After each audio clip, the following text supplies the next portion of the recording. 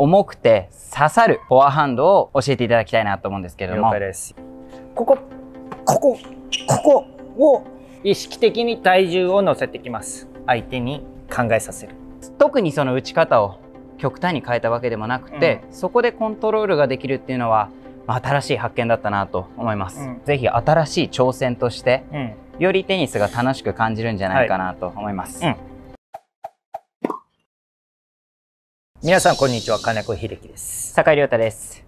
金子コーチ、今日は重くてはい。弾むではなく、今度は重くて刺さるうん。フォアハンドを教えていただきたいなと思うんですけれども了解、です。いやさらに重く弾むボールが際立そうですね。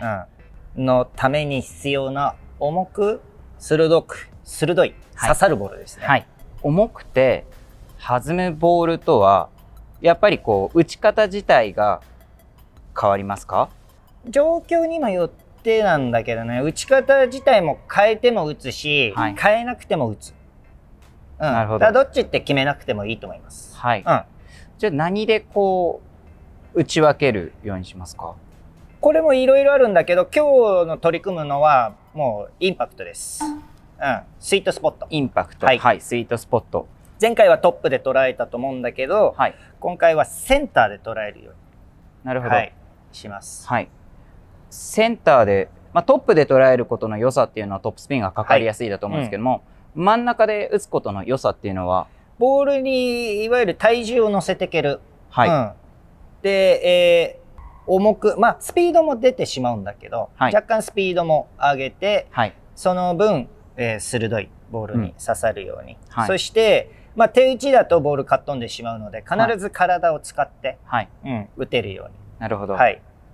で、バリエーションとして、えーセンターだけでなく、はい少しボトム気味で捉えることによって、サイドスピンをうん。意図的にかける。うん。自然にかかっちゃってるじゃなくて、はい。意図的にサイドスピンをかけて、はい。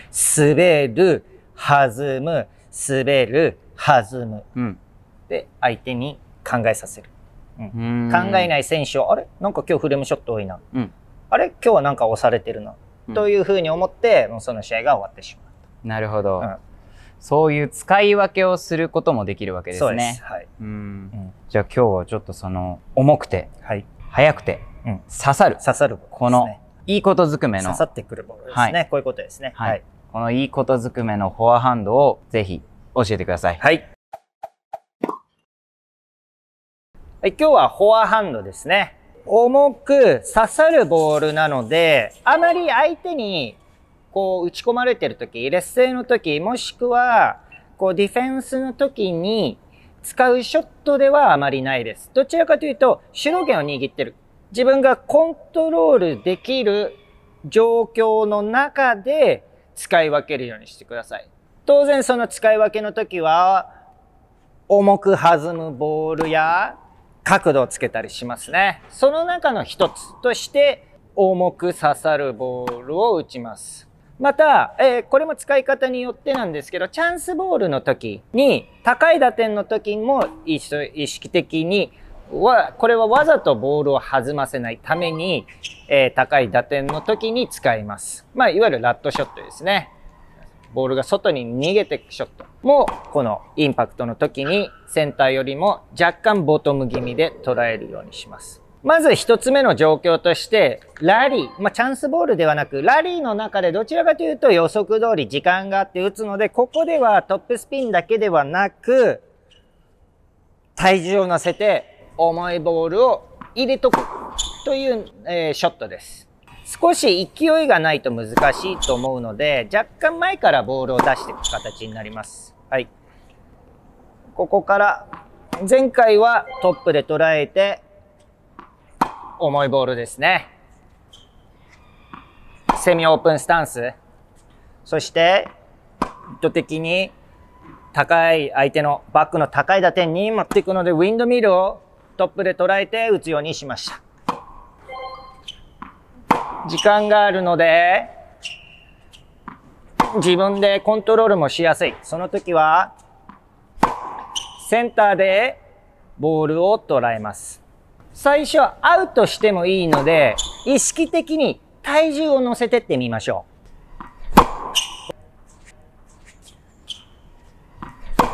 このようにして、ここ、ここ、ここを意識的に体重を乗せてきます。これだと体重乗せてないですね。もう当たったところで一番力を加えようとして、結果、今インパクトで負けてしまいます。インパクトで負けないために当たってからもう押すイメージを持ってください。なので、スイングアークの通過点にボールがあった。そういうイメージを持ってください。ここまで。当然、下半身も持っていく。下半身も一緒に持っていく。自分の予測範囲内なので、できるだけステップイン、そして体重をボールに乗せていけるようにします。上半身でもぐっと押せていけるように。上半身でもぐっと押していく。ではトップで捉えた状況で打ってみてください。今のヘッドダウン、その切り返しは使わずに、もう1回目のその真ん中で捉えるときと、トップで捉えるときで、えー、もうほぼ打ち方っていうのは変えずに打ってみたんですけど、はい、明らかに真ん中で捉えてた時の方が、ボールのスピードが上がって、こう、直線的なボールになる。今トップで捉えた時は、何もせずに今スピンがかかって、はいうん行ったっていうので、全然やっぱりこう、違うんですね。うん、ボールの飛びっていうのはやっぱりスピンのかかり方っていうのは、はい、このインパクトの当て方でやっぱりこう、変わってくる。変わってくるんですね。うん、うん、ここは皆さんあの練習して、ちょっと実感していただきたいなと思いますね。はい。うん、では、より意図的に弾ませないショット。はいを打っていきたいと思います。この場合は、えー、若干サイドスピンをかけるので、もうダウンザラインか逆クロスになります。で、少し体の重心、回り込んだ重心を利用して、サイドスピンをかけていくようにします。じゃあ、ここら辺かな。ですね。もうあれだけでボールの回転が変わってきます。はい。で、これがこの状態でトップで捉えると弾んでしまうので、特にアプローチの時は気をつけてください。弾んでしまっては相手、パッシングショットの餌食になってしまいます。今の少し大げさボトムで取ったんですけど、少しカットんでしまった状態ですね。はい。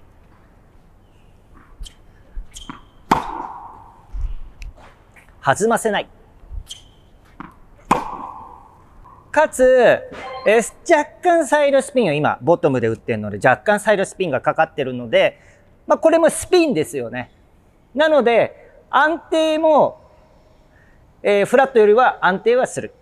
なので、さらに触れるのがこの利点です。先ほどの体重を乗せて重く刺さるショットはラケット、このスイングアークのコントロールがすごい重要になります。そして自分が打てる状況の中で打つように。さらに、今打つショット、今打ってるショットですね。チャンスボールやアプローチショット、そしてベースラインのラリーでも、腰よりも高いボールが来た時、変化をつけるという意味でも、このサイドスピンのショットですね。ラットショットをセンターもしくは若干ボトム気味に捉えるようにします。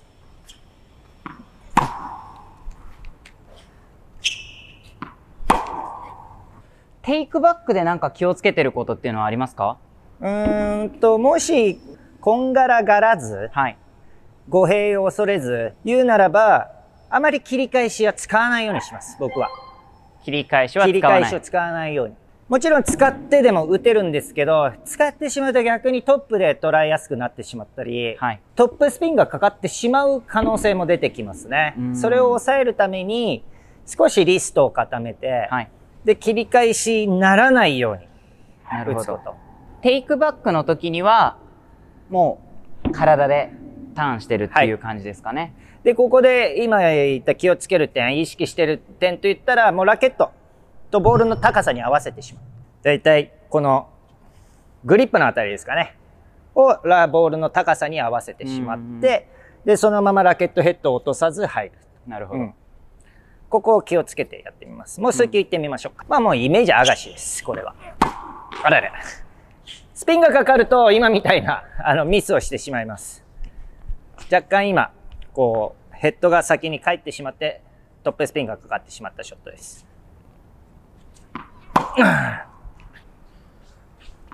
ちょっと小屈にしたおかげでうん。少し打ちやすく。もともと酒井コーチのグリップでは、あのリストが落ちちゃって、はいあまりあれだもんね、サイドスピンかけられなかったもんです。そうですね。この重く速く滑るボールっていうのがちょっと打ちにくかったですね、うん今までは。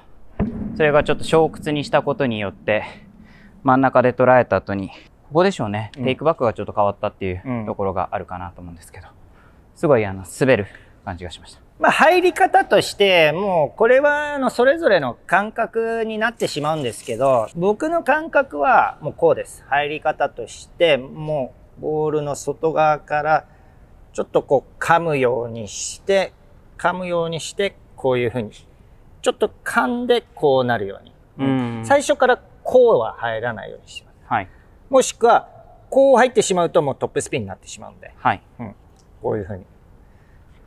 なので、ここからセンターで当てて、で、若干ボトムに。こういう入り方ですね。うーんこういう、はい。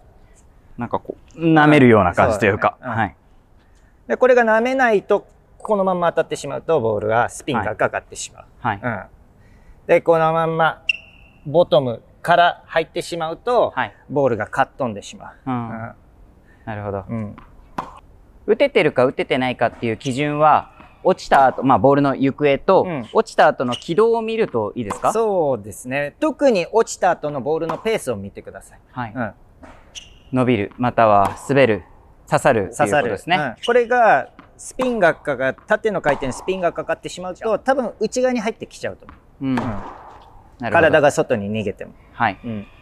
もしくはそのまんままっすぐ縦回転のまま行ってしまう。はい。ショットになるのでそういうところを確認をしてみてください、はい。うん。特にアプローチで弾んでしまってはもう致命的なので、はい、うん、これは十分気をつける必要がありますね、そのポイントは当たるところをトップではなく真ん中またちょっとボトムで打てるように意識をするっていうことですよね。はい。うん、なるほど。OK です。では、今からラリーを入れてって、通常のラリーになるので、まあ、トップで当てる、センターで当てる、で、チャンスボールもしくは高いボールが来たら、若干ボトム気味で打つ、それらを説明を加えながら、うん、ラリーをしていきたいと思います。基本、ラリーなので、まあ、トップで捉えることが、この中で基本になってくるんですけど、まあ、その中、こういう弾んできたボールを変化加えたり、スピンをかけたり、まあバックでも一緒ですね。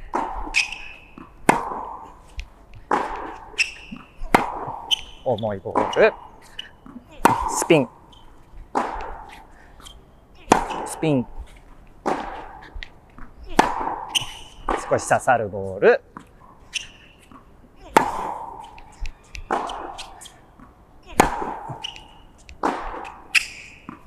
これは気をつけないといけないですね、今のタイミングは。重いボール。刺さる。刺さる。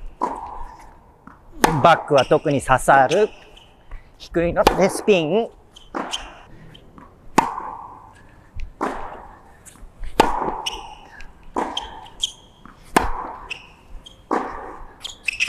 スピンにしました、今。